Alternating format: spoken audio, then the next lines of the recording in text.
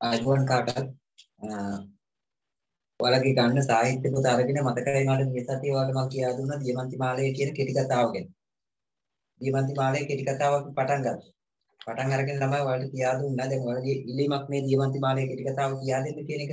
ඊට පස්සේ මට මතකයි දියමන්ති මාලය, සිංහ බාහු, අඟුල්මාල් දමනය වගේ කතන්දර කීපයක්. ඒ කියන්නේ පාඩම් කීපයක්ම කරන්න කියන ඉල්ලීම තිබුණා. ඒ අතරින් වැඩි ඉල්ලීමක් තිබිච්ච නිසා දියමන්ති මාලයේ කෙටි කතාවට අපි ඒක තෝරගත්තා. මතකයි නේද ගිය සතියේ? දැන් අද සම්බන්ධ වෙච්ච ළමයි දුක් බලන්න දියමන්ති මාලය කියන කෙටි කතාව වලගේ පොතේ තියෙන. දියමන්ති මාලයේ කෙටි කතාව තමයි අපි සාකච්ඡා කරේ. ඒකේ ගිය සතියේ අපි කියා දුන්නා ලෝසර් මහත්මිය ගැන ඊට පස්සේ කවුද ලෝසර් මහත්මිය ඊට පස්සේ ලෝසර් මහත්තයා අපිට පොරිස්ටිය නෝන ඉන්න තැනට තාම ඉන්න බැරි වුණා. මතකයි නේද? දැන් එතකොට වල තියෙන අද 111 වෙනි පිටුවේ. පාඩම අද සම්බන්ධ වෙච්ච ළමයි ගිය සතියේ මතක නැති ළමයි දෙල්ල ගන්න 111 වෙනි පිටුව. අද මේ පාඩම ඉවර කරනවා. ඉවර කරලා අපි ਵਿਚාරිකුත් ලියනවා. ලියලා ඊළඟ සතිය වෙනකොටවත් අර වලගේ අනිත් පාඩම් ටික කරන්න සූදානම් වෙන්න ඕනේ. එහෙමනේ. මේ පාඩම් ටිකට සූදානම්ක් තියෙනවා නැත්නම් අපි මෙතනම ඉඳලා හරියන්නේ නැහැ. අද කොහොම හරි මේ පාඩම ඉවර කරගන්න ලොකු උත්සාහයක් ගන්නවා.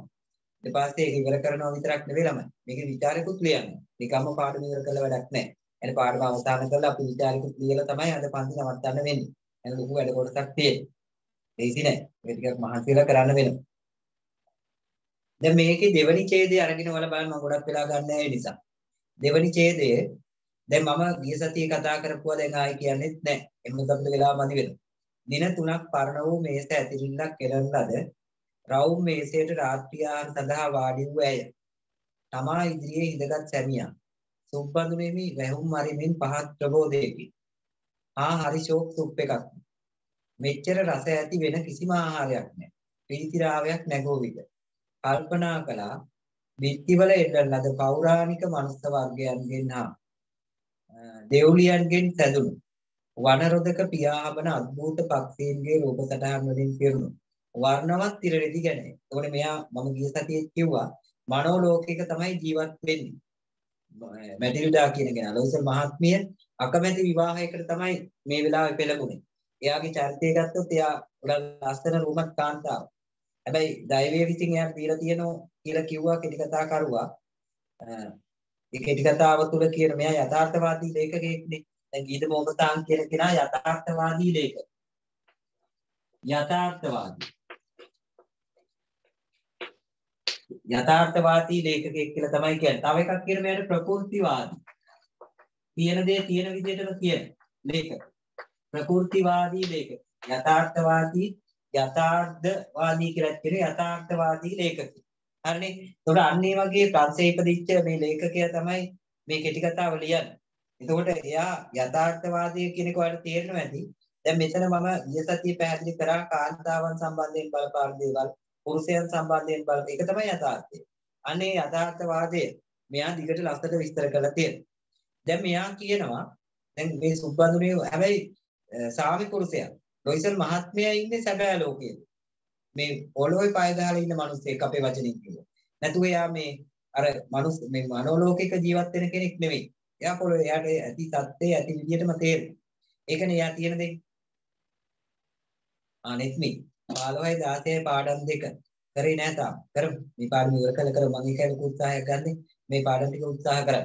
දැන් එයා කියනවා ආ හරි ෂෝක් සූප් එකක්. මෙච්චර රස ඇති වෙනම කිසි වෙන කිසිම ආහාරයක්. බලන්නකෝ ඒ එයාට ලැබිච්ච දෙයින් එයා උපරිම සතුටපත් වෙනවා. එයාට ලැබිච්ච සුප් එකකින් එයා ගොඩාක් සතුටපත් වෙනවා. එහෙම නැතුව නැති දෙයක් ගැන හිතමින් තමන් නොදකපු දෙයක් ගැන මනෝලෝකයක ජීවත් වෙමින් වර්තමානයේ විනාශ කරන්නේ නැහැ. දැන් බුදුහාමුදුරුවෝ කියලා තියෙන ළමයි බණට මට බණක් ටිකක් මතක් වෙනවා. ආයිබෝවන් ඕකාඩ. බුදුහාමුදුරුවෝ බණට මෙන්න මෙහෙම කියලා තියෙනවා. මිනිස්සු ජීවත් වෙන්න ඕන මේ වෙලාවට. බුදුහාමුදුරුවෝ කියලා තියෙන අනාගතේවත් අතීතේවත් නෙවෙයි. වර්තමානයේ තුල ජීවත් වෙන්න.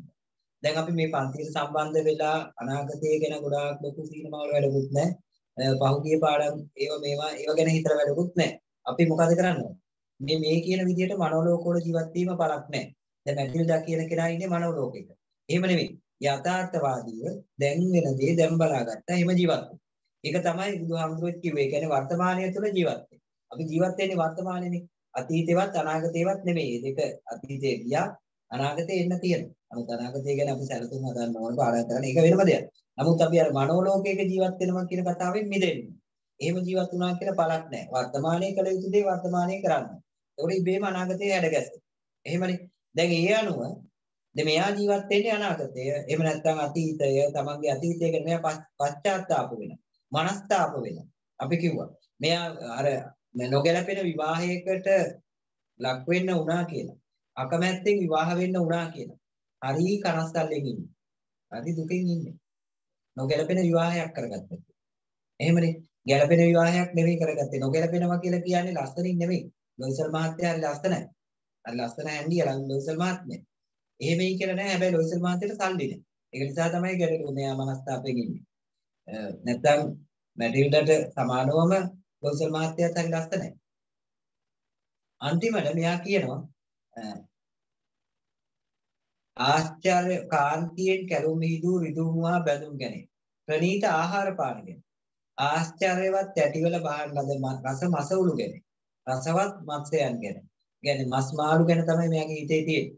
ට්‍රවුට් මත්ස්‍යයන්ගේ ලාරත් පැහැති මස හෝ වටකුරුල්ලන්ගේ අත්හැරි අනුගම කරන ගමන් තේරුම් ගැනීමට නොපුළුවන් මදහසක් මෝගේ රඳවාගෙන රහස් කෙඳිරි වලින් කියනු ලබන ලලනෝපචාරී සල්ලාපයන්ට අහුම්කම් දෙන අන්දම ගැන මෙයා හිතන්නේ එහෙමයි. දැන් මෙතන කියන ට්‍රවුට් මත්ස්‍ය කියලා අමාළු වර්ගයක්. ට්‍රවුට් කියලා මත්ස්‍ය වර්ගයක්. ට්‍රවුට් මත්ස්‍යයි. ට්‍රවුට් මත්ස්‍යයා ඉන්නේ ළමයි මේ මාළුවා ඉන්නේ යුරෝපය හා එහෙම නැත්නම් රුසියාව යුරෝපය වගේ රටවල් වල තියෙන ජලාශවල මේ මාළුවා ඉන්නවා. අපි කතා කරන්නේ 11 111 වෙනි පිටු. 111 පිටුව බැලුවාම සාහිත්‍ය පොතේ දෙවෙනි ඡේදය තුල තමයි අපි මේ කතා කරන්නේ. පැහැදිලිනේ ට්‍රවුට් මත්ස්‍යයා යුරෝපේ ආ රුසියාව වගේ රටවල් වල දැන් ලංකාවෙත් අභිජනනය කළා. කෘතිමව අභිනව අභිජනනය කරලා හදනවා. තේරෙනවනේ ට්‍රවුට් මත්ස්‍යයා. බහුලව ඉන්න ලංකාවෙත් දැන්. ඔයාලා දැකලා තියෙන සමහර වෙලා. ඊට පස්සේ තව මෙයාලගේ ප්‍රණීත ආහාර පානයක් තමයි වටුකුරුල්ලු මස්. වටුකුරුළු මස් කන්න හරි ආසයි ටික. ඒ කියන්නේ වටුකුරුළු මසයි ට්‍රවුට් මත්ස්‍යයාගේ මාළුයි කන්න සාමාන්‍ය මිනිස්සුෙකුට ඒ කාලේ බෑ. ඒ රටේ ජීවත් ඒක ටිකක් ඉහළ පන්නේ රදල අය ධන දාන්නේ වලින් පෝසත් වෙච්ච අය වස්තුව තියන අය තමයි ඕක කෑවේ. මොනවද යාලගේ ප්‍රධාන ආහාරය එතකොට සල්ලි තියන අය කෑවේ ට්‍රවුට් මත්ස්‍යයෝයි වටකුරුල්ලන්ගේ අත්හැටි. මම හිතනවා සල්ලි නැති වුණත් අපිට නිකන් ගෙනත් දුන්නත් අපි නම් ওই වටකුරුල්ලන්ගේ අත්හැටි කන්නේ නැහැනේ අපේ සංස්කෘතියට අනුවනේ. වටකුරුළු මස් නම් ලංකාවෙත් තියෙනවා. වටකුරුල්ලත් ලංකාවේ ඇති කරන කුකුළු ඇති කරනවා වගේ කුකුල් පාම් වගේ වටකුරුළු කූඩු විකුණන අය වටකුරුල්ල විකුණන අය වටකුරුළු බිත්තර විකුණන අය ඉන්න ලංකාවේ සමාජය තුල වටකුරුල්ල එහෙම විකුණනවල දැකලා ඇති හැබැයි ට්‍රවුට් මත්ස්‍යෝ නම් මං හිතන්නේ වල දැකලා නැහැ ලංකාවේ දැනට ඉන්නවා කියලා කියන ට්‍රවුට් මත්ස්‍යෝ බහුලව මම දැකලත් නැහැ ලංකාවේ නම් ඉන්නේ රුසියාවේ මේ එතකොට කොහෙද ඇමරිකාව වගේ රටවල් වල ඉන්න දැකලත් නැහැ පින්තූර දැකලා තියෙනවා ඒවයි නම් ඉන්නවලු නැහැ නේ වලකි. වලත් ඉතින් ගිහිල්ලා නැතිද ඒවා හිටියට දකින්නේ නැහැ. හැබැයි ඉන්නවලු. ට්‍රවුට් මත්ස්‍යය කියලා මාළුවෙක් හරි ලස්සන මාළුවෙක්. ට්‍රවුට් මත්ස්‍යය ඔය අපි කන මාළුව වගේ හරි ලස්සනයි. ඌ නිකන් අර බතික් ඇඳුමක් වගේ. ලස්සන ලස්සන මාළු තියෙනුගේ හරි ලස්සන මාළුව. කන්න හිතෙන්නේ නැහැ දැක්කම. එහෙම කියන්නේ. එතකොට මේ දෙකම ගැන කවුද හිතන්නේ? මැටිල්ඩා හිතනවා. ට්‍රවුට් මත්ස්‍යව කන්න තියුණා නම් වටකුරුළු මස් කන්න තියුණා නම් හරි රසවත් කියලා. හැබැයි ඒව ගැන හිත හිත අර සුප් එක තමයි මේ බොන්නේ. එහෙමයි තත්ත්වයක් තියෙන්නේ. ඒත් ඇය ආශා කළේ ඒවාටම. තමා ඉපදී ඇත්තේ ඒවා සඳහාමයි සිටුවේ. අන්‍යයන් වසී කර ගැනීමට. අන්‍යයන් විසින් ප්‍රාර්ථනා කරගනු ලැබීමට. බෙහෙවින්ම ප්‍රියං කරවීමෙන් අන්‍යයන්ගේ මනනුවන් පොළඹවා ගැනීමට ඇත්නම් කොතරයි හොඳයි කල්පනා. මෙයා නිතරම හිතන්නේ අනිත් අයගේ සිත සතුටු කරන විදියට ඉන්න පුළුවන් නම් අනිත් අයගේ සිත් ඇද ගන්නා පුළුවන් විදිහට ඉන්න පුළුවන් නම් කාන්තාවක් කාන්තාව ගොඩාක් කැමති දෙයක් තමයි. අනිත් අයගේ ආකර්ෂණය දිනා ගන්න පිරිමියන්ට වඩා කාන්තාව කැමති. ඒ කියන්නේ දුක් කැමැත්තක් තියෙන කාන්තාව. තමන් ලස්සනයි කියලා අනිත් අයට වඩා කැපිලා පේන්නේ.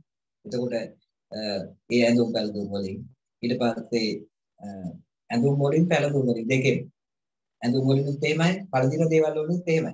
ඊට පස්සේ කතා බයි ගමනින් හැමදේම අනබුන ආකාරයෙන් hina වෙන ආකාරයෙන් හැම හැසිරීමක් තුළින් කරන ලබන හැම හැසිරීමක් තුලින්ම අනිත් අයගේ ආකර්ෂණීය දිනා ගන්න. හරි කැමැත්තක් තියෙනවා පිරිමි පක්ෂයට වඩා කාන්තා පක්ෂයක කාන්තාවන්ට ආවේනික වෙච්ච ගති ලක්ෂණයක්. මේක දැන් මෙයාගේ වෙලා තියෙන මෙයාගේ වැඩි. මේ කාන්තාවගේ වැඩි. එයා නිතරම ඒව ගැන විතරක් හිතන. ඒක වැරද්දක් නෑ එහෙම ආකර්ෂණය දිනාගත්ත කියලා. නමුත් මෙයා එහෙම ආකර්ෂණය දිනාගන්න ලොකු උත්සාහයක් ගන්න.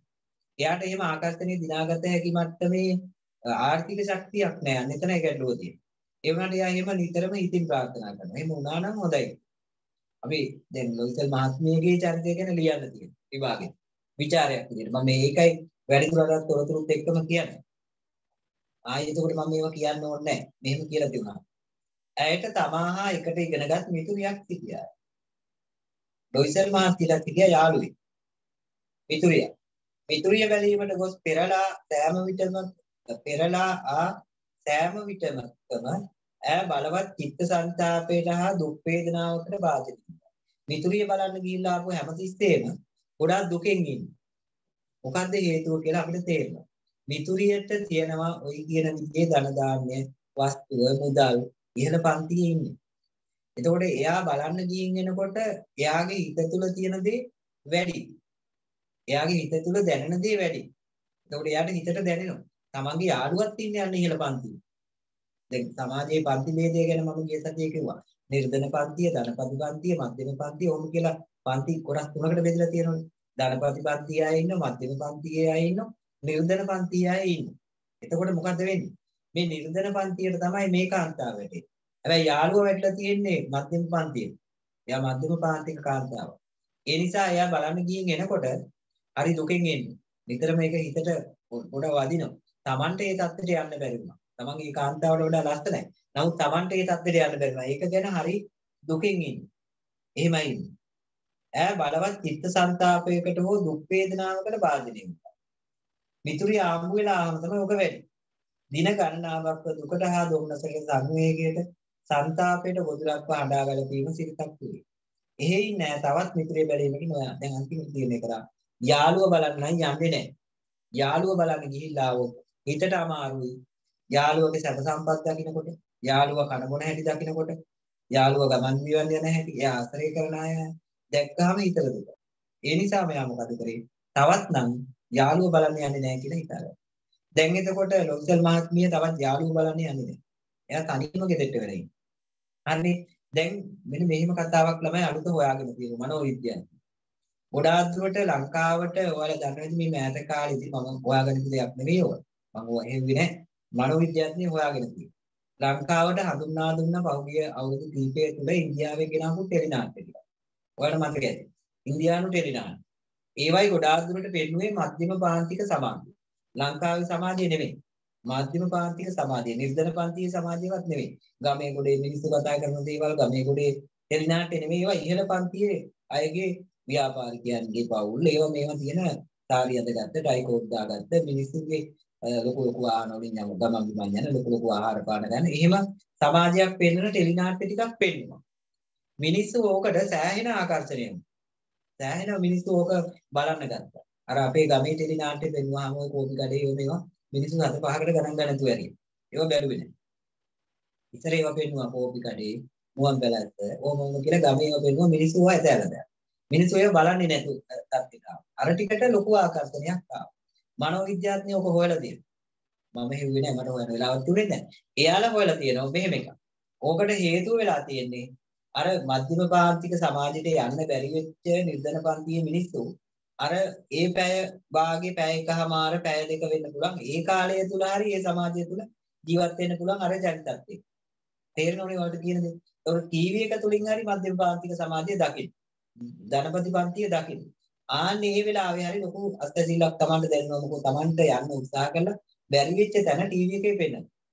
දැන් අර ටෙලි නාට්‍ය වල Tamanට බැරි වෙච්ච Taman ඉන්න තැනම තමයි පෙන්නන්නේ. එතකොට මිනිසුන්ට ඒක ගානක් නැහැ. Taman ඉන්න තැනමනේ කෝපි කඩේ ඉන්න අය ඉන්නේ. ඊට පස්සේ එතකොට මේ දෙක සමානයි. ගමේ චරිත ටික ගමේ මිනිස්සු ඔක්කොම පෙන්නන. Tamanට වඩා අන්ත දුප්පත් මිනිස්සු ඒක පෙන්නන. එතකොට ඒ අයට ආස නැහැ. ඇයි අපිටත් වඩා දුප්පත් ඇවුනේ මේකේ. එතකොට මිනිස්සු කැමති නැහැ. එහෙම නෙමෙයි අර ටිකක් ඉහළ පන්තියේ අපේ ජීවිතේට යන්නවත් හිතා ගන්නවත් බැරි සමාජයක් පෙන්නකොට අන්න අපි එතෙන්ට ආකර්ෂණය වෙනවා. අපිට යන්න පුළුවන් මනෝලෝකෙට. අන්නේ මනෝලෝකයේ තුල තමයි මේ මැටිල්ලත් ජීවත් වෙන්නේ. අපි දන්නේ නැති වුණාට මුළු මහත් ලංකාවේ සමාජයේම ওই ටෙලිනාට්‍ය ටික හරහා මනෝලෝක වලට ගිහිල්ලා තියෙන. අපි හිතන් ඉන්නේ මැටිල්ඩා විතරේ මනෝලෝකයක ජීවත් වුනේ කියලා. දැන් සමහර ළමයි 8 වෙනකොට 8:00මාර වෙනකොට පන්ති ඉවර වෙන්නේ කීයද කියලා පට පට ගාලා මැසේජ් එක. ඇයි ඒ? බහුතරයක් සමහර අය පන්ති තියෙනවා එක එක ගැටලු තියෙනවා එහෙම අයත් ඉන්නවා. සමහර අයට ওই ටෙලිනාට්‍ය ටිකට ලොකු ආකර්ෂණයක් තියෙනවා. ඒ ටිකත් එක්ක තමයි කියන එක මමත් දන්නවා. එහෙම සිද්ධි ආරංචිත් දෙනෝනේ. එහෙම තියෙනවා. ටෙලිනාට්‍ය වලට ඇබ්බැහි වෙලා වගේ සමහර. 11 වසරේ ළමයිට නම් ඉතින් එකකින් අත් මිදෙන්නම වෙනවා මේ මාස පහේ. විලාසනින් ඔන්න කිව්වා. ටෙලිනාට්‍යයයි පාඩමයි දෙකක් කරන්න බෑ. එක්ක ටෙලිනාට්‍ය කරනවා. ඒ කලාවට මෙහෙම දිගට යන්න ඕනේ එක්ක නැත්නම් පාඩම කරලා විභාගෙ ලියන්න. ඒක පටලවා ගත්තොත් කරගන්න බැරි වෙනවා.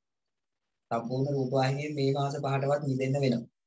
සමහරුන්ට අතාරින්න බැරි පුරුද්දක් 10 11 ළමයිට තියෙනවා. ඔය ටෙලිනාට්‍ය ටිකත් එක්ක. ඒක නිසා තමයි අර පොඩ්ඩක් මේ වෙනකොට මැසේජ් එක එන්නේ කියලා මම හිතනවා. සමහරවිට වෙනත් ඒවා තේරෙන්නේ නැති. ඔන්න බලන්නකෝ. දැන් මෙහෙම ගිහිලා එක්තරා සන්ධ්‍යාවක එක හැන්දෑවක ලොකු ලියුම් කවරයක් අතින්දත් ඇගේ සැමියා මහත් සන්තෝෂයෙන් නිවසට පැමිණියා. ලොකු ලියුම් කවරයකුත් අරගෙන තමයි එයාගේ සැමියා ආවේ. අපි දන්නේ නැහැ ලියුම් කවරය ඇතුලේ මොනවද තියෙනවද? ලියුම් කවරයක් අරගෙන ආවා. ලියුම් කවරයක් තියෙනවා නම් ඇතුලේ මොනවා හරි තියෙන්න ඕනේ. ඉස් ලියුම් කවරයක් අරන් එන්නේ නැහැ නේ. එයා ලියුම් කවරේ අරන් ඇවිල්ලා කියනවා ඔන්න ඔයාට බඩුවක් කියලා. ඔහු කීයේ. වහාම කවරේ ඉරා ලියුම විවෘත කළා. එතුලින් මුද්‍රිත කාඩ් පතක් එළියට ගත්තා. එහි මෙසේ මුද්‍රණය කර තිබුණා. ඔන්න අපි පාඩම් කරගන්න ඕන ප්‍රකාශයක් ඒ ලියුම් කවරය ඇතුලේ තිබුණා. මොන වගේ ප්‍රකාශයක්ද තිබුණේ? කියවලා බලන්න. ඔන්න එයාට ලැබිච්ච ආරාධනා පත්‍රය. ලැබුණා කියලා අපි දැනට හිතනවා. හැබැයි ලැබිලා නෙමෙයි මේ. මම පස්සේ කියනවා. මෙයාට දීපු ආරාධනා පත්‍රය කියලා දැනට අනුමාන කරමුකෝ. අධ්‍යාපන අමාත්‍යවරයා සහ රම්පොඤ්ඤෝ මැතිනි. ලොයිසල් මහතාගේ හා එම මැතිනියගේ ප්‍රිය සමාගමය ජනවාරි මාස 18 වෙනි දින සවස අමාත්‍යාංශ මන්ත්‍රියේදී මහත් හරතරින් අපේක්ෂා කරති. ඔන්න ආරාධනා පත්‍රයක් දුන්නා. අපේ ආරාධනා පත්‍රයකට වඩා වෙනස්. අපි ආරාධනා පත්‍රයක ලියන ආකෘතිය මේක නෑ. මේක ආදර්ශයට ගන්න කවද? මේ කෙටි කතාව තුළ තියෙන ආරාධනා පත්‍රය. ඒකේ තියෙන්නේ මෙන්න මෙහෙම මේ දෙන්න තමයි ආරාධනාව කරන්නේ. කරන දෙන්නක් තියෙනවා කාටද ආරාධනාව කරන්න කියලාත් තියෙනවා. කරන්නේ අධ්‍යාපන ඇමතිවරයයි යාගේ බිරිඳ රම්පෝනියෝ මැතිණිය. මේ දෙන්නම ආරාධනය කරන්නේ කාටද? මේ දෙන්නට විතරක් නෙවෙයි. ලොයිසල් මහත්තයටයි එයාගේ මැතිණියටයි ජනවාරි මාස 18 වෙනිදා අමාත්‍යාංශ මන්දිරයට එන්න කියලා මහත්තාල උත්සවයක් පාටියක් තියෙයි කියලා තමයි කියන්නේ. දැන් මේ ආරාධනා පත්‍රය දීලා තියෙන්නේ. දැන් එතකොට ආරාධනා පත්‍රයක් හම්බ වුණාම දන්නෝනේ කරන්න ඕනද? ආරාධනා පත්‍රයක් මගුල් ගෙදරකට වගේ නීති ආරාධනා පත්‍ර හම්බ වෙන්නේ අපිට නේ. නැතුව ඔය වගේ උත්සවයකට ආරාධනා පත්‍ර හම්බ වෙනවා. ආරාධනා පත්‍රය ලැබුණාම අපි කල්පනා කරනවා දැන් මෙතෙන්ට යන්න. ගිහිල්ලා නිකම්ම බෑ උදේට සල්ලි දෙන්නත් ඕන. දැන් මේ දෙන්නට ඒ ගැටලුව නෑ හැබැයි. දෙන්න සල්ලි ගියක් හරි දෙන්න ඕන. නිකම්ම ගිහින් එන්න බෑනේ. එහෙම නැත්නම් ටැග් එකක් කරන් යන්න. මොනවා හරි වටින තියෙන ටැග් එකක් මේ මිනිස්සුන්ට අරගෙන යන්න. ඒක නේ ආරාධනා පත්‍රයක් දෙන්නේ. ඉතින් ඒකත් අරන් යන්න ඕන. එහෙම නැත්නම් සල්ලි දෙන්න ඕන. හොඳ ඇඳුමක් තියෙන්න ඕන. ප්‍රධානම දේ ඔන්න ඕකනේ. දැන් උතෙන්ට යන්න බෑ නිකන් සාමාන්‍ය ගෙදරට ඇඳන් ඉන්න ඇඳුම පිටින් යන්නත් බෑ. ඊට පස්සේ අපි සාමාන්‍ය රැකියාවට යනකොට එදිනදා ජීවිතයේදී ගත කරන ආකාරය අදුමක් ඇදගෙන උතෙන්ට යන්න බෑ. උතන විශේෂ අවස්ථාවක් තියෙනවා. උතෙන්ට වැදගත් ප්‍රභූවරු වෙනවා. වැදගත් මිනිස්සු වෙනවා. අල්ලාප සල්ලාප කරනවා. කතා බහ කරනවා. කනෝ බොනෝ විනෝද වෙනවා. එහෙමනේ උත්සවයක් වුණා.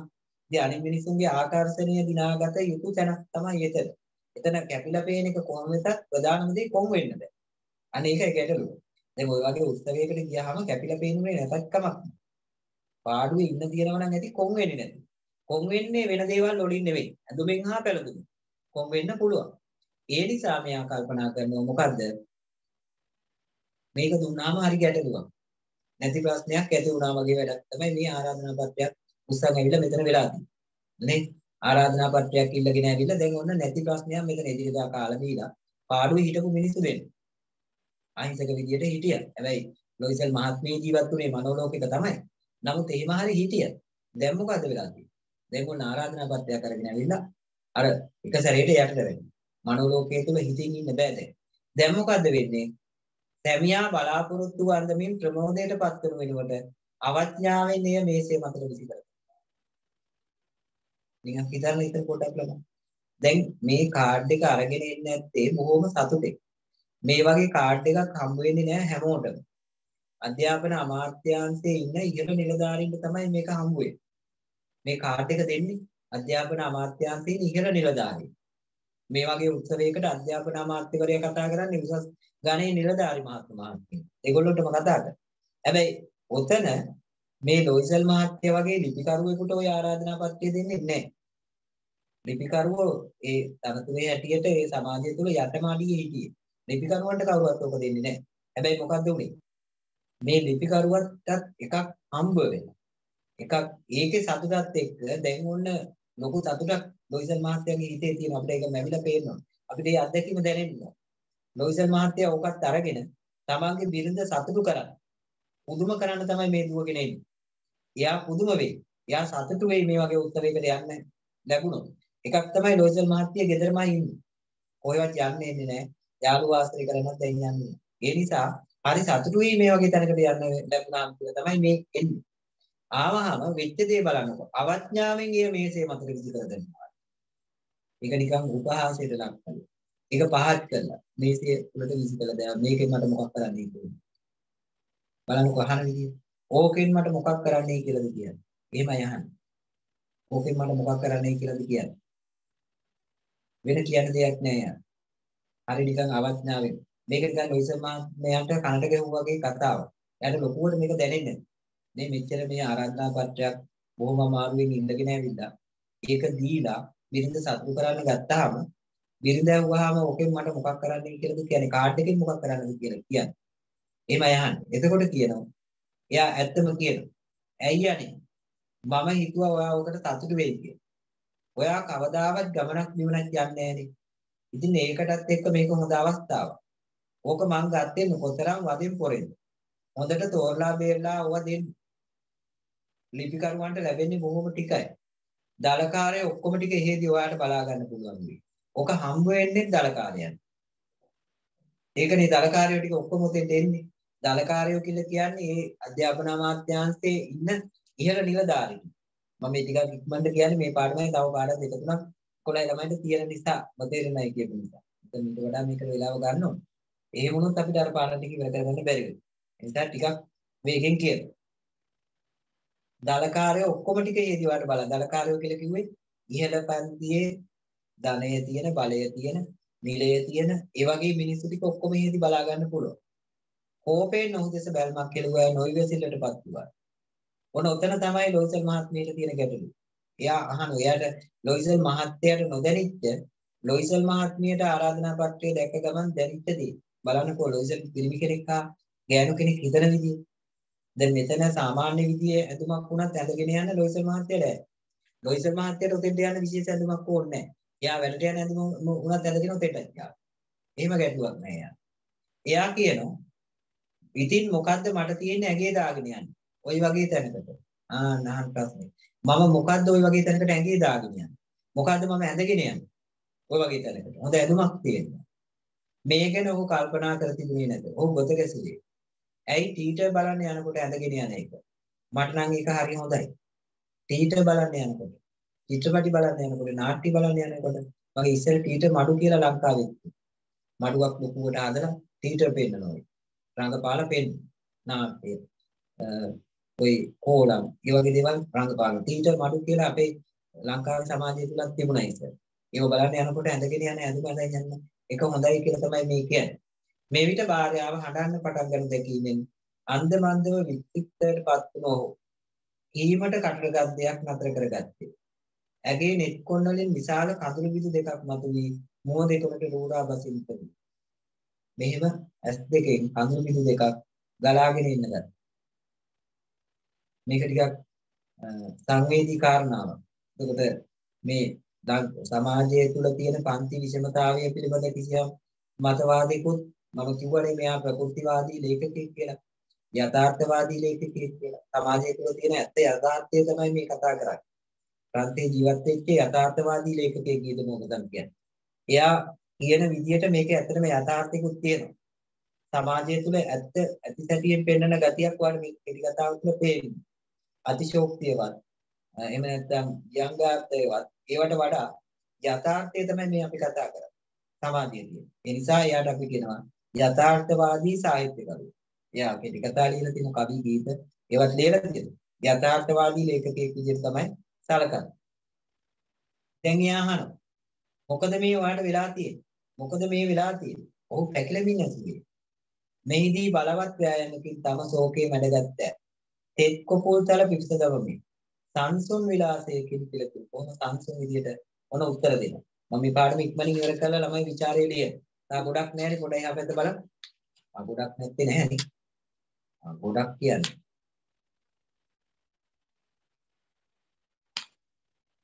ගොඩක් කියන්නේ ගොඩක්ම තියෙනවනේ. අපි ටිකක් හරි කරමු.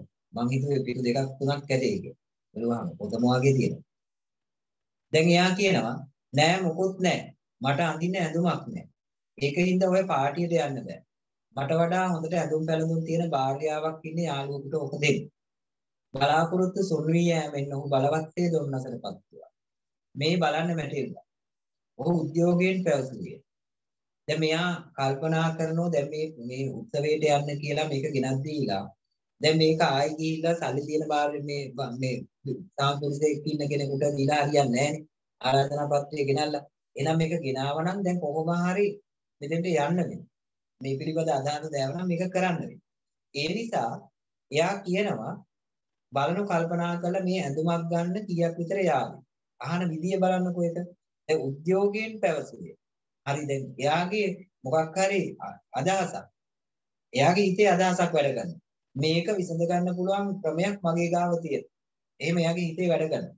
ඒ අදහසත් එක්ක එයා උද්‍යෝගෙමත් වුණා. ඒක මැටිල්ඩ් දන්නේ නැහැ. මොකද්ද මෙයා මේ කරන්න හදන්නේ කියලා මැටිල්ඩ් දන්නේ නැහැ. ඒක නිසා එයා ඉස්සෙල්ලා බලන මේකට කීයක් විතර යයිද කියලා. අහන විදිය බලන්නකො. සෑහෙන ඇඳුමකට කීයක් විතර යාවි. වෙන ගමනකට විමනකටත් ඇඳගෙන යන්න පුළුවන් විදියකට. කොහොම චාම්පයි. අඩුම ගානේ ඇඳුමක්. ඒ කියන්නේ කොහොම මහා විශාල ලොකු ගානක එකක් නෙමෙයි. බොහොම චාම්පහේ ඇඳුමක් ගන්න කීයක් විතර යාවිද? දැන් ඒක හරි ගැටලුවක්.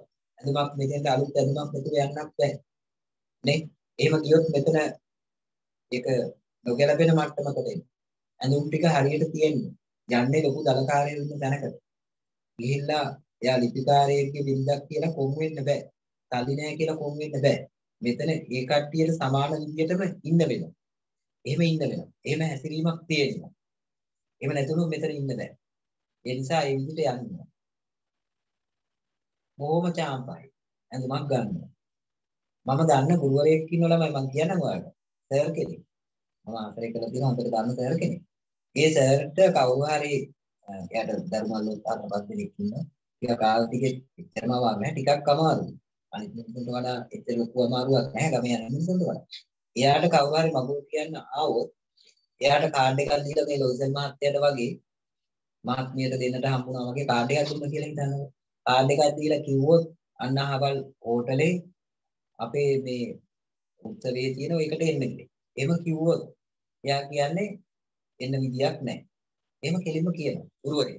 සර් කෙනෙක්. ඒ වයසකුත් නැහැ. එහෙම කෙලින්ම කියලා මම අහලා තියෙනවා යා කියපු අයත් තියෙන මිනිස්සු තරහ වෙලක් තියෙනවා. එයා එක සැරේකට මට එන්න විදියක් නැහැ. මගේ ගාව ඔකට ගැලපෙන්නේ නැහැ. දුකල දෙන්නේ නැහැ. මට ඔය වගේ තැනකට දෙන්න පුළුවන් කීයේ විශාල සල්ලි ඇත්තේ නැහැ. ගෙදර මගුල් තියෙනවා නම් ගෙදර මගුල් කෑමක් තියෙනවා නම් මම එන්න. තරහ වෙන්න එපා. ඔතෙන් ළඟ එන්න විදියක් නැහැ කියලා කෙලින්ම කියනවා. තාමත් ඒක සර් ඉන්නේ. වැඩි වයසක් නැහැ මෙච්චර වයසක් කෙනෙක් නෙමෙයි. නමුත් තාමත් එහෙමයි කියන්නේ. කවුරුත් ඉතින් දැන් ඔක තුන් හතර දෙනෙකුට කිව්වයින් පස්සේ තවත් කට්ටිය ඔක අහන්න යන්නෙත් නැහැ. එයාට තවත් කියන්නේ නැහැ කට්ටිය. ඉතින් මම කියලා අත්තට දෙල්ල ඉන්නේ. කොහේ හරි උත්සවයක කොහේ හරි හොටෙල් එකක දෙයක් ගිහිල්ලා කිව්වොත් එක සැරෙන් කියනවා. මට ඕකට රුපියල් 10 15000 වියදම් කරලා ඇඳුම් ගන්න තරම් නැහැ. තව ජීවත් වෙන්නේ පඩියෙන්. මේ දරුවෝ ටික නඩත්තු කරන්නත් ඕන. අනිතර කරන්නත් ඕන. ඕකට එන විදියක් නැහැ. ඒකට දෙන්න සල්ලි ඇත්තෙත් නැහැ මම. ඉතින් තරහ වෙන්න එපා කියලා කෙලින්ම කියනවා. ඒ වෙලේ තරහ වුණොත් එහෙමයි. ඔබෙන් ඇල්ල තරහ වුණා කියලා එහෙමයි. මොකක් හරි වෙයි. ඉතින් මිනිස්සු තුන් හතර දෙනෙක් කොහොම තරහ වුණාට පස්සේ අනිත් අය ඉන්නේ නැහැ ඔක කියන්නේ. හැබැයි ගෙදරක චාම්පහේ උත්සවයක් තියෙනම් අර එයා විශේෂ ඇඳුමක් නැහැ. සාමාන්‍ය ඉස්කෝලේට දැන් යන ඇඳුමෙන්ම අතෙන්ට සහභාගී වෙලා ඒ සල්ලි දීලා අනිත් අයට වඩා වැඩිපුර ගන්නකුත් දෙනවා. එහෙමයි ඉන්නේ. ඒ ප්‍රතිපත්තිය. එක එක මිනිස්සුන්ගේ ප්‍රතිපත්තිය තියෙනවනේ. අනේ වගේ එක ප්‍රතිපත්තියක් තමයි ඒක. දැන් මෙයාටත් ඒ වගේ ප්‍රතිපත්තියක හිටියනම් ලේසි. හැබැයි මෙයා එහෙම ප්‍රතිපත්තියක නැහැ. මෙයා මොකද කියන්නේ? සෑහෙන ඇඳුමකට කීයක් විතර යාවි. වෙන ගමනක බිමනකට ඇඳගෙන යන්න පුළුවන්. මේකෙන් එයා තව එකක් බලනවා. එයා තව ඩිංගක් බේරෙන්න බලනවා. ওই උත්සවයට ගිහිල්ලා එතනින් ඉවර වුණාම තා කොහෙට හරි යන්න උනහම තා ඇඳුමක් ගන්නවා. ඒක අමාරුයි. තව අහකට ඇදගෙන යන්න පුළුවන් විදිහේ වැඩ දෙකම එක සැරේ බේරෙන ඇඳුමක් තමයි ලොයිසන් මහත්මිය හිතන්නේ. ඒකට එයා හිතනවා මෙයාට වෙන කොහාට හරි යනකොටත් මේ ඇඳුම ඇදගෙන යන්න. ඒක දෙපැත්තම බේරිලා. ලස්සනට වැඩේ බේරගන්න තමයි ලොයිසන් මහත්මිය කල්පනා කරන්නේ. දැන් මෙයාගේ හිත නරක කරගන්නත් බෑ. අපි දුප්පත්. අපිට වයි යන්න ඇඳුම් කරදුන්නේ නැහැ. අපිට ගන්න සපත්තු දෙරෙප්පු නැහැ. මාළු කරාපු නැහැ. නිසා අපි නොගිහින් හරිමු කියන අර මොකද ඔකට කියන්නේ නොගිහින් හරිමු කියලා එහෙම හිතුවොත් ඒක ඍණාත්මකයිනේ. එහෙම හිතන්න කැමතිත් නැහැ. අපිට පුළුවන් විදිහෙන් අපි කරමු කියන ධනාත්මක චින්තනය තුළ එයා ඉන්නවා. එයා කියනවා ඈ අර පිරිමැස්මෙන් යුතු ලිපිකරුවාගේ එකිනෙම ප්‍රතික්ෂේප කිරීමක් හෝ විස්මයාකූල රාවයක් හෝ නොලැබීම නම් කිව යුත්තේ කෙතරම් මුදල් ප්‍රමාණයක්ද යන්න සිතින් ගන්න බලමු. තප්පර කීපයක් මේ ගැන කල්පනා කර බැලුවා. අවසානයේදී මදක් පැකිලමින් මෙසේ කිව්වා. මොන එයා ගාන කියනවා. හරියටම මට කියන්න බෑ. ඒ වුණත් මං හිතනවා බැංකු 400ක් විතර පිරිමහ ගන්න පුළුවන්. හරියටම ගාන කියන්න බෑ. නමුත් වැඩේ කරගන්න පුළුවන් මේ බැංකු 400ක් විතර තියෙනවා. දැන් බැංකු 400ක් කොහෙන් හරි හොයාගත්තොත් මේ වැඩේ කරගන්න පුළුවන්. ඉස්සරහට යන්න පුළුවන්. ඇඳුම තියෙනවා. එච්චරයි යාලා දැන් මූලික ඉස්සෙල්ලම නැති දෙන්නේ ඉස්සෙල්ලා හිතන්නේ. දැන් ඇඳුම විතරයි ඉස්සෙල්ල මතක්. ඇයි ඇඳුමක් තිබුණොත් මේ ඇඳුම් ඕනනේ. ඉස්සෙල්ලා ඇඳුම ගැන පස්සේ තමයි කල්පනා කරේ අනිත් ඒවා. නමුත් මූලිකම අවශ්‍යතාවය දැන් මතුවුණා. බැංකුව 400ක් විතර ඕන කියලා කිව්වා. එසේ වුවද ඔහු හොඳයි මම ඔයාලට දෙන්නම් බැංකුව 400. ලස්සනම ඇඳුමක් ගන්න උත්සාහ කරලා බලන්න. ඊයේ. උත්සව දිනේ ළඟාවන්නට විය. ඒත් ලොයිසල් මහත්මිය දුකින්නා දුන්නතින් තිබුණු දක්නට ලැබේ. කෙසේ වුවද ඇගේ ඇඳුම නම් සූදානම්ව තිබුණේ. එක්තරා සන්ධ්‍යාවකදී ඇගේ සැමියා අයට කතා කළා. මොකද දැන් ඔයාලට වෙලා තියෙන්නේ? දැන් දවස් 3ක වෙලේ ඉඳන් ඔයාලට ටිකක් අමුතු විදියකටයි ඉන්නේ. අනේ කරේ දාගන්න මුකුත් නැතිකම ගැනයි මම මේ දවස් ටිකේ කල්පනා කරන්නේ. ඔන පොත බලාගෙන ඉන්න ඕන. මේවා පාඩම් කරගන්නත් ඕන. දැන් නිකන් නෙවෙයි මේවා කියන්නේ මේවා කටපාඩමට විචාර ලියනකොට මෙන්න මේ වගේ ප්‍රකාශ උපුටා දක්වන්න වෙනවා. ඒවයි තමයි ලකුණු හම්බෙන්නේ. මේ ප්‍රකාශ මොනවා හරි විදියකින් ලකුණු කරගෙන මාක් කරගෙන මේවා පාඩම් කරගන්න ඕන විභාගෙට මේවා ඕන වෙනවා. මේවා තමයි මේවා ලියපු ධර්මයට තමයි ලකුණු හම්බෙන්නේ. නිකන් අපේ ਵਿਚාරය විස්තර කරාට වැඩක් නැහැ. මේකේ තියෙන වචන, මේකේ තියෙන උපුටා ගැනීම, ඒවා තමයි මේ සාමාර්ථයකට බලපාන. අපි ලියපු කරුණු 100%ක් නිවැරදි වුණත් වැඩක් නැහැ. උදාහරණ නැත්තම්. පැහැදිලිනේ? ලියන දේ තුල උදාහරණ තියෙනවා. මේවා අපි highlight කරලා තියෙන්න ඕන. ඊට පස්සේ මේවා පාඩම් කරලා තියෙන්න ඕන. දැන් අපි මොකක් හරි දෙයක විචාරයේ මොකක් වුණා මේ වගේ ප්‍රකාශ අපිට අවශ්‍ය වෙනවා. ඒකයි මම කිව්වේ මේවා පාඩම් කරගන්න. නිකන් ඉන්න වෙලාවට මේවා කිය කිය ඉන්න. දැන් අපේ හිතමුකෝ කවුරු හරි කෙනෙක් ගෙදර ඉන්න වෙලාවට නිකන් මෙහෙම කියන්නේ. කියලා බලන්න කොහෙද දවසේ. ගෑන ළමයිට නම් මේක කිව්වොත් වාසියක් වෙන්නත් ඉඩ. මෙහෙම කියපුව එක එක කණේ කරේ දාගන්න මුකුත් නැතිකම ගැනයි මම මේ දවස් ටිකේ කල්පනා කරගෙන හිටියේ. මේක මගේ හිතට ලොකු අමාරුවක්. කොහොම කී කී හිටියයි කියනකො නිකන් ඉන්න වෙලාවට ඕක අම්මට හරි තාත්තට හරි ඇහුනොත් නිකන් කල්පනා කර කර ඉන්න වෙලාවට ඕක කියන. සමහර විට දරුවට මාලයක් වළු දෙකක් එහෙම නැත්නම් ওই තියෙන තවත් ආභරණ මුද්දක් එහෙම ඕන වෙලා කියලා හිතලා මොකක් හරි කරලා ගෙනත් දෙන්න උනත් ඉඩ තියෙනවා. ඒත් මෙයා කතා කරන්නේ මේක ගැනමනේ කියන්නේ. නිතර නිතර තුන් හතර සැරයක් දවසට කියන්නේ. නිකන් ඉන්න වෙලාව. මේකත් පාඩම් වෙනවා අමතර වාසියකුත් වෙනවා. මේ ළමයි කිව්වොත් ඉතින් ඉඳාවේ මේ මොකක් හරි එක්ක කරාබු දාන්න හිතලා මොකක් හරි එකක් කියන. වෙනම අහන්න වෙනවා. ගෑල් ළමයට තමයි ඔක ගැලපෙන්නේ. නිකන් ඉන්න වෙලාවට කියන්න බෑ. අනේ කරේ දාගන්න මුකුත් නැතිකම ගැනයි මම මේ දවස් ටිකේම කල්පනා කර කර හිටියේ. මේකේ මගේ හිතට ලොකු අමාරුවක්. අර ලස්සනයිම කිව්වා. ඔක දැන් සද්දනකොට ඉඳලා එක සැරේට කියන්න. පස්සේ ඔක නිකන් ආපස්සට කැරකිලා වගේ ආවොත් නිකන් චෝදනාවකට ලක් වෙන්න ආවොත් ආපස්සට කියනකොට මම මේ කිව්වේ පාඩමට කියන කොටසක් මට පාඩම් කරගන්න ඕන කිව්වේ කියලා ඒ පැත්තෙන් බේරෙන්නත් පුළුවන්. අනිත් පැත්තට වාසියට ගියොත් මොන හරි දෙයක් ලැබෙන්නත් ඉඩ තියෙනවා ඉතින්. දෙපැත්තටම හොඳයි. මොකද ලැබුණ නැතත් පාඩම හරි කෙරෙනෝනේ. නිසා හෙට දවසේ තුල ඔක පොඩ්ඩක් ප්‍රායෝගිකව කරලා බලන්න. නිකන් ඉන්න වෙලාවට ওই ප්‍රකාශ කියවන්න. සමහර ඒවා කියන්න බෑ. පුළුවන් ඒවා කියන්න. කට්ටිය ඉන්න තැන නැතුව නිකන් තනියෙන් ඉන්න වෙලාවක හරි කියව කියවෙයි. දැන් තනියෙන් දොඩවනවා කියලා කියන්නේ. සමහර ළමයි මම දන්න තනියෙන් දොඩවන ළමයි. මේ පාඩම් වල තියෙන ඒවා තනියෙන් දොඩවනවා. ඒක පාඩම් කරන එක ක්‍රමයක්. නිකන් ඉන්න වෙලාවට කී කී ඉන්න. කාට හරි අහුනොත් වාසියක් වෙන්න පුළුවන් ප්‍රකාශයක් තියෙනවා. මැණික් ගලක් කියලා මොකක්ම දෙයක් ඇත්තේ නැහැ. මොකුත්ම දෙයක් ඇත්තේ නැහැ. ඒ කැලේ කිව්වොත් මැණික් ගලක් හම් වෙන්නත් ඉඩ තියෙනවා. ඈ පිළිතුරු දුන්නා. මං නිකම්ම නිකම් මුකුත් නැති එකියක් වගේ පෙනේ. පාටියට නොයනවා නම් වැඩිය හොඳයි කියලාත් මට හිතෙනවා. මල් ටිකක් ගහගන්න. ඇගේ සැමියා පැවසියේ. අවුරුද්දේ මේ කාලෙදි මල් ඇඳීම තමයි අලුත්ම පන්නේ. අලුත්ම පන්නේ. අලුත්ම විලාසිතාව. ඒකයි ඔය කියන්නේ. අලුත්ම පන්නේ. පන්නේ කියලා කියන්නේ විලාසිතාව. පැන්සු 10ක් දුන්නාම හොඳ ලස්සන රෝස මල් දෙක තුනක් ගන්න පුළුවන්. එහෙත් මේ කිව්ව ඈ පිළිනගත්තා. දැන් මෙයා අලුත් යෝජනාවක් කරනවා. මොකක්ද යෝජනාව? මල් ටිකක් ගහගෙන යන්න. දැන් අඳින්න ඇඳුමක් හොයාගත්තට පළඳින්න දෙයක් නැහැ. පළඳින්නත් එකක් තියෙන පාය. පළඳින්න දෙයක් නැති නිසා යෝජනාවක් විදිහට ඉදිරිපත් කරනවා. මොකද්ද යෝජනාව? මල් ටිකක් ගහගෙන යන එක. අවුරුද්දේ මේ කාලය තුල මල් පළඳින එක තමයි අලුත්ම විලාසිතාව කියලා කියන්නේ. මේ විලාසිතාවට ගැලපෙන විදිහට මල් ටිකක් ගහගෙන යන්න. ප්‍රැංකු 10ක් විතර දුන්නාම ලස්සන රෝස මල් දෙක තුනක් ගන්නත් පුළුවන් මේ කියලා කියනවා. මේ හරි ලේසි. ප්‍රැංකු 10යි ඕන. ඇඳුමට කියේ ප්‍රැංකු 400. එතකොට 400 10යි ඔක්කොම ගැටලු විසදේ. එහෙමයි කල්පනා. බලමු අපි තා ටිකක් කරලා ඔයාලට අභ්‍යාස ටිකක් දෙන්නම් මේ පාඩම ඉවර කරන්න කියලා හිතන් හිටියට මම හිතන්නේ ඉවර කරනවා නම් විචාර ලියන්න වෙලාවක් කෙනෙක් නැහැ මොකද ඒක දිග පාඩම. දැන් ලොයිසල් මහත්මිය ඒකට දුන්න උත්තරෙත් බලන්නකෝ. එයා කියනවා පොහොසත් ගෑනු නැද්ද දුප්පත් විදියට ඉන්න එක තරම් ලැජ්ජා නැති වැඩක්. ලොයිසල් මහත්මිය කියන්නේ. මොකක් කියන්න පුළුවන් ඔයාලට නිකන් ඉන්නවා.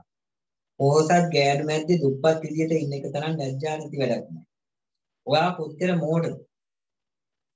මෙහිදී ඇගේ සැමියා එක්වරම රාවයක් සැමියා තමයි දැන් අලුත් තවත් හැබැයි මේ ලොයිසල් මහත්මියට නැති අදහස් ලොයිසල් මහත්මියගේ හිතට දැනෙන්නේ නැති දේවල් හොඳ හොඳ අදහස් ලොයිසල් මහත්මියගේ හිතට එනවා ඒ ආපු ගමන් එයා හරි සතුටින් මේ හැඟීම් ප්‍රකාශ කරන්න බලන්නකෝ එයා කියන දේ ඔයා කොච්චර මෝඩද එහෙමයි කියන්නේ දැන් හොඳ අදහසක් හම්බෙලා තියෙනවා ගිහින් හම්බ වෙන්නකෝ ඔයාගේ යාළුවා ෆොරෙස්ටියර් නෝන හම්බ වෙන්න හම්බ වෙලා පස්සේ ගිහින් දෙනකන් ඉල්ල ගන්නකො කනට කරට දාගන්න මොකවත්.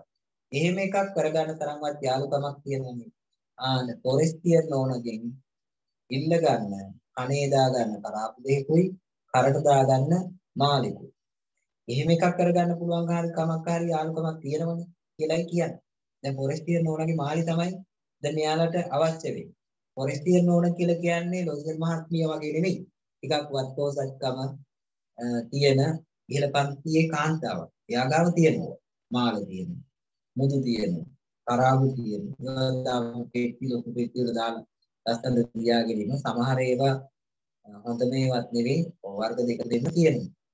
ඕන කෙනෙකුට එහෙම එයාගේ යාළුවන්ටත් එයා දෙනවා. ඒක තමයි පොලිස් තියෙන උනගේ තියෙන විශේෂත්වය. මෙසේ ඇසුවා ප්‍රීතිරාවයක් එයාටත් හරි සතුටුයි. හොඳ ඇඳුමකුත් තියෙනවා. ෆොරෙස්ට් තියෙන ඕනගේ පැලඳුම් ටිකකුත් ගත්තාම අර පොහොසත් ගෑනු මැද්දේ දුප්පත් විදියට ඉන්නේ නැතුව ඇත්තටම දුප්පත් වුණාට පොහොසත් වගේ ඉන්න පුළුවන්. ඒක තමයි තොයිසල් මහත්මියගේ අදහස. දැන් බලන්නකෝ මේ ලේඛකයා මවන චරිත ටිකේ තියෙන යථාර්ථවාදී බව. ඇත්තටම මෙයා දුප්පත්. හැබැයි එයා පෙන්නන්න හදන්නේ කොහොමද? දැන් මෙතන ගිහිල්ලා. එයාතුත් අර පන්තියේම කාන්තාව. එහෙම නැතුව එතන ගිහිල්ලා කොම් වෙන්න මේ දුප්පත් කියලා පෙන්නන්න එහෙම කැමැත්තක් නැහැ. ඒ නිසා තමයි මේ සූදානම් වෙන්නේ. දැන් එයාටත් ඒක පිළිගන්නවා. එයා කියපු එක බලන්නකෝ. ඇත්ත නේන්න. මට එහෙම එකක් ගැන කල්පනාවක් උනේම නෑ. උන්ට තවත් එකක් පාඩම් කරා. දැන් ළමයින්ට පාඩම් කරන්න පුළුවන් ක්‍රමෙත් මං කිව්වා. නිකන් ඉන්න වෙලාවට මේ ප්‍රකාශ ලකුණු කර ගන්න ඕන. සැරින් සැරේ ගෙදරදීව කියවන්න. එක සැරේට කියන්න ඕන. වෙන අපේ හිතම රූපවාහිනිය බලාගෙන හිටියා, බත් කන ගමන් හිටියා. වෙන මොකක් හරි කරගෙන ගමන් හිටියා. එක සැරේට ඔවා කියන්න ඕන. ඇත්ත නේන්න. මට එහෙම එකක් ගැන කල්පනාවක් වුණේම නැහැ. එහෙම කියලා කියනවා.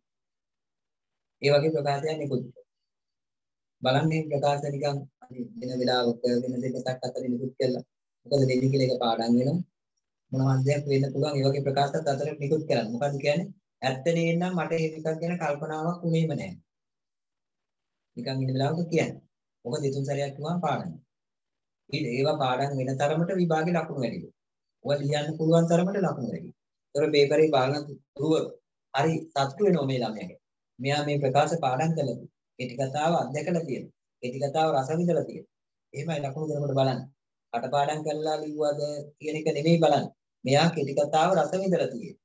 කෙටි කතාව මෙයාට දැනෙලා තියෙනවා. ඒකයි ප්‍රධානම දේ. ලකුණු දෙනකොට ගුරුවරු සාහිත්‍ය පිළිබඳ ගුරුවරු මේක බලන්න. සිංහල ගන්න ගුරුවරු මේ බලන්න. එහෙම බලනකොට එයාලා බලන්නේ ප්‍රධාන වශයෙන්ම මේක රස විඳලා තියෙද මේක තේරුම් ගන්න තියෙද මේක ගැන උනන්දුවක්. එතකොට ලකුණු දෙන්න පෙළඹෙන.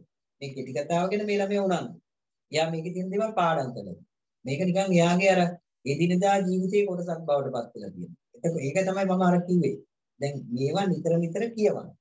නිකන් පාඩම් කරනවා කියලා පොතක් තියාගෙන මේසයක් තියාගෙන පුතක් තියාගෙන පැත්තක වාඩි වෙලා නිකන් අර සමාජෙත් අයින් වෙලා එක මුල්ලකට වෙලා එහෙම ඉන්න එක නෙමෙයි පාඩම් කරනවා කියන එක මම අදහස් කරේ වලට හරි ක්‍රමයක් කිව්වේ.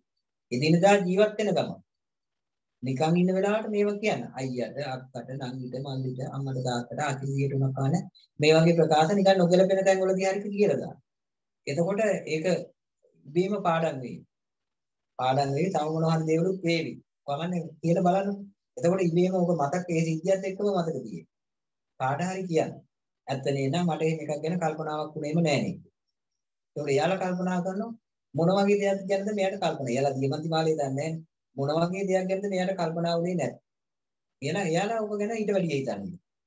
එහෙම වෙන්න පුළුවන්. මම 10 වසර ළමයිද කියලා ව්‍යාකරණ පාඩමක් උගන්වලා ඔය වගේ සංදි පාඩම උගන්වලා ඒ සංදි පාඩමේ තියෙන යන සංදි වෙන පද එකේ මොහොම මොහොම කියන ඒක කියන්නේ කියලා කෝල් එකක් දීලා නෑ දයවන්ට. එයාලා කියලා තියෙනවා. එක කෙනෙක් මේ කතා කරලා නෑ දයකට කියලා සංදි වෙන පද එකේ මුල් පදය ඇති සැරයක් අද පදේ මුල ඇති සැරයක් කොහොම කියලා මේ සංදි වලට තියෙන අදාළ විස්තරය කියලා. මොකක්ද කිව්වද කියලා ඊට පස්සේ අහන්න බැරිම එහෙම කෝලයක් දීලා කියලා. ඒ වගේ දේවල් කරනවා සමහරවිට. ඒකට හැබැයි යාට ඒක හොඳට පාඩම්. ඔයාලා නම් ඒක කියන්නේ යන්න එපා. ඒකම මම වීඩියෝට කියමු කියලා. ඔයාලට මේ වැඩේ කරන්න පුළුවන්. නිකන් ඉන්න වෙලාවට කියවන්න මේ. අන්තිමට මොන බලන්නද? ෆොරෙස්ටියර් මහත්මිය කන්නාඩි දැන් මෙයා ෆොරෙස්ටියර් මහත්මිය හම්බ වෙන්න ගියා. කන්නාඩි මේසෙන් විශාල සර්වාභරණ පෙට්ටියක්. සර්වාභරණ. වචන දෙකයි. සර්ණාභරණයි සර්ණ. මෙහෙමයි. සර්ණ කියලා කියන්නේ රත්රන් වල. රත්රන් ආභරණ. තව එකක් සර්ව. පටලවා ගන්න එපා මේ. සර්ව ආභරණ. සියලුම ආභරණ. මේක රත්රන් මේක සියලුම ආභරණ. සර්ව ආභරණ. ඒව තමයි යාගාව තියෙන්නේ. සර්වාභරණ පෙට්ටියක් ගන්න. අරගෙන ලොයිසල් මහත්මිය මෙත යගෙන ආවා. අනතුරුව විශ්කල මේවායින් ඔයාලට ඕන එකක් තෝරගන්න. ඕම ලස්සන පිටුවක්. මේවායින් ඔයාලට ඕන එකක් තෝරගන්න. කිසි ගැටලුවක් නෑ. ඔයාලට ඕන එකක් මාළෙද, මුද්දද, කරාබුවද ඕන එකක් අරගෙන යන්න ගැටලුවක් නෑ. මට ඕක දැන් ඕන වෙන්නේ. කොහොමයි පොරිස්තිය ඕන කිව්වේ. මේවායින් ඔයාලට ඕන එකක් තෝරගන්න. දැන් පාඩම් කරගන්න ඕන ප්‍රකාශය. බලන්න දැද්ද තියෙන. අයියෙන් දෙතුන් සැරයක් කියලා. මේවායින් ඔයාලට ඕන එකක් තෝරගන්න. කියලා බලන්න දෙතුන් සැරයක් ඉබේ කටපාඩම් වෙනව නේද මම පොඩි වෙලාවක් දෙන්න දෙතුන් සැරයක් කියන්නේ මේවායින් ඔයාලට ඕන එකක් තෝරගන්න. අමතක වෙන්නේ නැහැ හෙටත් ඕක මතක් වෙන්න. ඕක කිව්වේ කවුද කියලාත් මතක් ඕක කිව්වේ ෆොරෙස්ටියර් නෝනා ලොයිසල් මහත්මියට කිව්වේ. එයා ගියා රත්තරන් බඩු ටිකක් ඉල්ලගෙන ඒ වෙලාව තමයි කිව්වේ ටිකක් ළමයි නිදිමත යන්නත් එක්ක ඔය ප්‍රකාශය දෙතුන් සැරයක් කියවන්න මේවායින් ඔයාලට ඕන එකක් තෝරගන්න. නැත්නම් තාටි කියයි බඩගිනි කියයි නිදිමතේ කියාවේ. ඊට කලින් මම ඔය කිව්වේ. බඩගින්න යන නිදිමත යන කම්මැලිකම යන වගේ ප්‍රකාශ දෙක තුනක් හයියෙන් කියන්නේ. මේක ලේසි මේක පාඩම් කරගන්න පුළුවන්. එහෙම කියන්නේ. මේවායින් ඔයාට ඕන එකක් තෝරගන්න. බලන්න ඕක නිකන් විහිළුවට කියලා පාඩම් වුණොත් තමයි. අපි ওই විදිහට කියලා ගෙදර එදිනදා ඉන්න ගමන් ඕක කියලා පාඩම් වුණොත් අපි නිකන් ලොකු අතට පාඩම් කරපු වැඩකාරයෝ වගේ විභාගෙදී ඕක අපි ලියන මෙහෙම පෙළි තමා දෙකක් දාලා මොනවමයි ලියන්නේ මම දන්න ළමයි වා දැන් ඔහොම නිකන් ඔක සරලව පාඩම් කරගත්තොත් විභාගෙදි කොච්චර හපන්නේ වගේද ඔක ලියන්නේ. මෙහෙම පෙරලිකමා දෙකක් දාගෙන යට ਵਿਚාරයට යටින් ලියන ඊට පස්සේ මොකද්ද ලියන්නේ? මෙන්න මේ. මේවායින් ඔයාලට ඕන එකක් තෝරගන්න කියලා ලියලා. මෙහෙම පෙරලිකමා දෙකෙන් ඕක වහලා. යටින් අපි ඊට පස්සේ ලියනවා. මෙන්න මේ ආකාරයට ලොයිසර් මහත්මියට එයා තතුව තිබිච්ච රත්රන් බඩු වලින් පොරිස් කියන ඕන දුන්නා කියලා අපි ලස්සනට ওই කතාවට ගලපලා ඕක ලියන්න. බලන්න කොච්චර නිකන් එතකොට මේක බාන කෙනා කොච්චර සතුටු වෙනවද මේ දරුවෝ මේව පාඩම් කරලා දැන් මේ විහිළුවට කිව්ව කතාව එයා දන්නේ නැහැ දැන් ඒ වගේ මේවා අන්නේ විදිහට සරලව කියලා පාඩම් කරන්නේ නැතුව අර පැත්තකට වෙලා සමාධියෙන් අයින් වෙලා සමාධියෙන් මුන් වෙලා වෙනම පාඩම් කරන්න නෙමෙයි. නිකන් ඉදිරියදා කියන්නේ දැන් මේ මම කියන ගමන් ඔයාලා සරියක් කරලා දැන් ඕක පාඩම්. නේ? දැන් ඕක හොඳට කටපාඩම්. අන්න එහෙම පාඩම් කරගන්න. සරල වෙන්නේ ඉස්සෙල්ලා. පාඩම් එතකොට තමයි ලේසි මේවා. එතකොට මේ අඟට අරගෙන අපි පාඩම් කරනවා කියලා පැත්තකට වෙලා මේවා වෙනම පාඩම් කරන්න ගියොත් ඉතින් කරගන්න හම්බ වෙන්නේ නැහැ. එහෙම වැඩි වෙලාවල ඉන්නෙත් නැහැ. මේ වැඩේ කරෙන්නෙත් නැහැ. ඒ නිසා අර ක්‍රමයේ අනුගමනය කරන්න. මෙහිදී මුලින්ම ලොයිසල් මහත්මිය ඇස ගැසුනේ වලලු වගේකට. ලොයිසල් මහත්මියගේ ඇස ගැසුනේ වලලු ටියක. අනතුරුව මුතුමාලයක්. ඊටත් පසුව රනින්හාර වලින් නිමවන ලද්දා වූ විශිෂ්ට කැටයමින් අලංකාරව විනිසී වුණු යාන කුරුසයක් ඈදුතුවා. මේ රත්නාභරණ එකින් එක ගෙන පැලඳගත් ලොයිසල් මහත්මිය ඒවායින් ලැබෙන අලංකාරයේ සලකා ගන්න සඳහා කැටපත ඉදිරියේ සිටගත්. මෙයා එක එක දාලා අර දානෝ වලලු දානෝ එහෙම දාලා ගිහිල්ලා කණ්ණාඩිය ඉස්සරහට ගිහිල්ලා ඔකේ ලස්සන බලන කැටපත ඉස්සරහට කණ්ණාඩිය ඉස්සරහට ගිහිල්ලා ලස්සන බලලා ඒවා ලියා තැබීමට සිත සාදාගත නොහැකි වූ ඇ. දැන් මෙතන එක කොන්දේසියක් තියෙනවා හැබැයි මෙයා ගිහිල්ලා ඉන්නපු ආකාරය අනුව ෆොරෙස්ටියර් නෝන කොච්චර හොඳ කෙනෙක් වුණත් පොඩි ගැටලුකාරී බවක් ළමයිට පේන්නේ. ෆොරෙස්ටියර් නෝන කියන්නේ මෙන්න මෙහෙම කතාවක්. එයා කියනවා මේවායින් ඔයාට ඕන එකක් තෝරා ගන්න. එහෙමයි කියන්නේ. මේවායින් ඔයාට ඕන එකක් තෝරගන්න. ඒක මාලයක් නම් මාලයක්. මුද්දක් නම් මුද්දක්, කරාබු දෙකක් නම් කරාබු දෙකක්. එතකොට දෙක තුනක් තෝරගෙන යන්න බෑ. ඒ නිසා මෙයා අර එකක් පළඳිනවා ඒකට වඩා අනිත් එක ලස්සනද බලනවා අනිත් එක දාලා බලනවා ඔහොම සෑහෙන වෙලාවක් ගත කරා හැබැයි මෙයාට පැලඳගෙන ලස්සන බැලුවා මේක ගලවන්න හිතෙන්නේ නැහැ. ඒ තරම් මෙයා මේ රූපයත් එක්ක අපි දන්නනේ මේ කාන්තාවත් දැන් ලස්සනයිනේ. එතකොට ඒ ලස්සනත් එක්ක මෙයාට කැඩපතින් මේක පේන. පේනකොට එයාගේ ලස්සන තවත් වැඩි වෙලා පේනකොට මේක දාගෙන ඉන්න තමයි හිතෙන්නේ. දැන් මේක අනුන් එක. බලන්නකො දුප්පත්කම විසින් මිනිස්සු අතරන කරන හැටි. නේ දුප්පත්කම සමාජයේ මිනිස්සු අදාගනික දුප්පත්කම දරිද්‍රතාවය පන්ති ભેදය ඕක හදාගෙන මිනිස්සු පීඩා විඳින ආකාරය. ඒ කියන්නේ දුප්පත්කමයි ඔක දරිද්‍රතාවය කියන දුප්පත්කම කියන ওই දේවල් වලින් මිනිස්සු පීඩා විඳින ආකාරය. මොනවා හරි දෙයක්.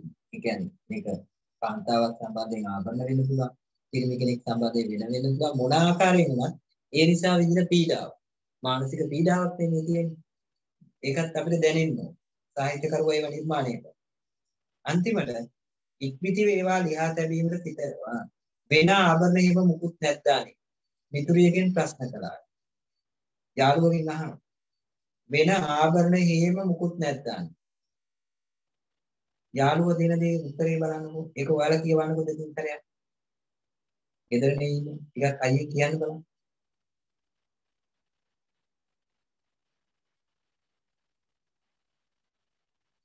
කියන්න ඕන ටිකක් අයියෙන් නැත්නම් කම්මැලි වෙනවා ටිකක් කියලා යනකොට.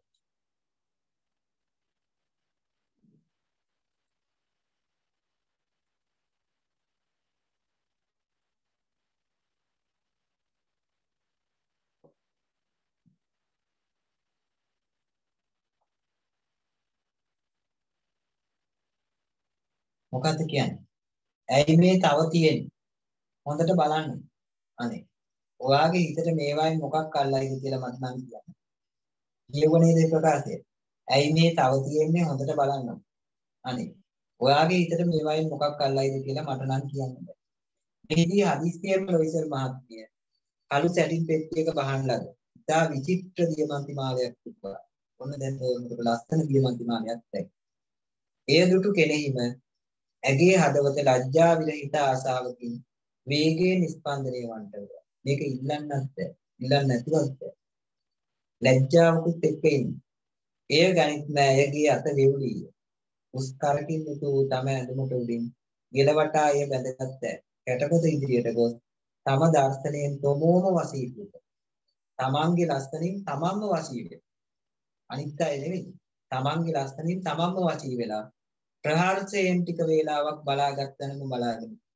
දැන් ළමයි කෙටිකතාව ඉගෙනගෙන මට කියන්නේ ප්‍රහාර්ෂය කියලා කියන්නේ මොකද්ද කියලා? ප්‍රහාර්ෂය කියලා මෙතන වචනයක් තියෙනවා.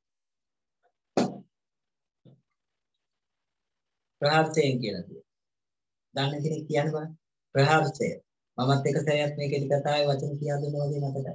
සතුට අන්න සතුටෙන් වශීකృత තොමෝම වශීකృత තමන්ගේ ලස්සනින් තමන්ම වශීකృත දැන් ඔච්චර ලස්සනද කියලා තේරෙනවා දැන් මේ රොයිසල් මහත්මියට තේරෙනවා කන්නාඩි ඉස්සරහට ගිහින් බැලුවාම එයා ගොඩාක් ලස්සනට පේනවා ඒකට එයා එයාගේ ලස්සනින් එයා වශීකృత ඊට පස්සේ ප්‍රහාරචාරි සතුටුයි දැන් ඇඳුමක් තියෙන ආභරණ තියෙන දැන් උත්තරේට යන්න තමයි තියෙන්නේ. හරිම සතුටක් තියෙන ඉක්විත වේදනාත්මක සරේ. මේක මට ණයට දෙන්න පුළුවන්. මේක විතරයි මං ඉල්ලන්නේ. ඇසුවා එයා අහනවා. මේක මට ණයට දෙන්න පුළුවන්ද ණයට කියන්නේ මම අර උත්තරේට ගිහිල්ලා ආයි ගෙනත් දෙනකම් ඉල්ල ගන්න එක තමයි මේ ණයට දෙනවා කියලා කියන්නේ ණයට දෙනවා කියන වචනේ පාවිච්චි කරන්නේ අර උත්තරේට ඊට දවසකට දෙන්න ගිහින් එනකම් දාගෙන යන දෙන්න කියන ඉල්ලීම කරන්නේ. ඒකට කියන්නේ ණයට දෙන්න පුළුවන්. මේක විතරයි මං ඉල්ලන්නේ. මට අනිත් ඒවා ඕනේ මේක විතරක් මට දෙන්න. ඒ තරම් මෙයාට මේ දියවන්ති මාලය කෙරෙහි හිත ගියා. ඕකත් වැඩක් යන්නේ අරන් යන්න කොයිද? ඕකත් වැඩක් අරගෙන යන්න. එහෙම කිව්වා.